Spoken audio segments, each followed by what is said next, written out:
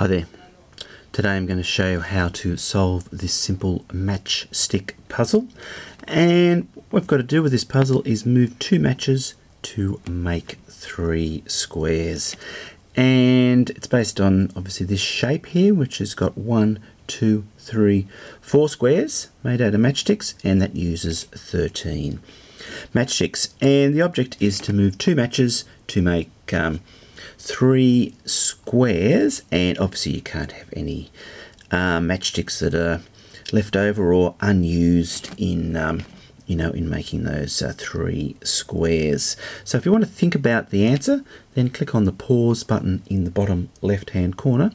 Otherwise I'm going to go straight into the answer. And the answer is to pick up that match and move it up the top.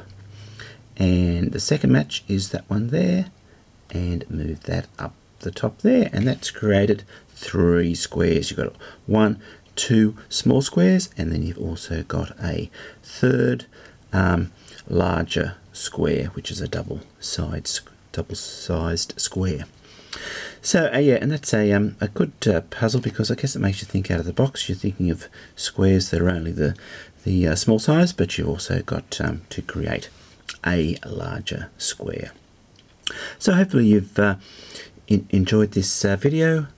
Thanks for watching and goodbye for now.